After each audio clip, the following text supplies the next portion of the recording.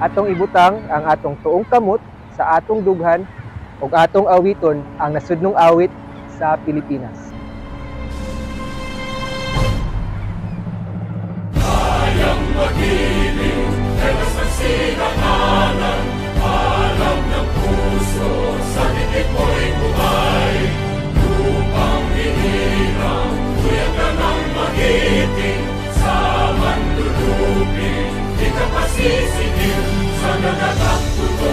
King, we the Sadani.